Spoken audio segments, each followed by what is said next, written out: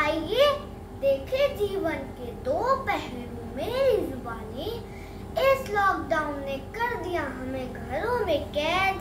चार दिन में ही लगने लगा, मानो हमें मिल गई उम्र कैद।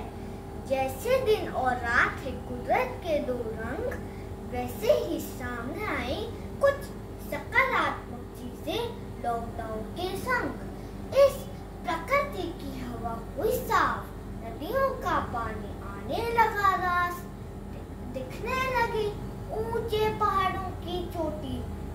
से हरी भरी हो गई हमारी धरती। इस लॉकडाउन ने हमें ये सिखाया कि हेल्दी खाना खाओगे, आलस दूर भगाओगे, योग को अपनाओगे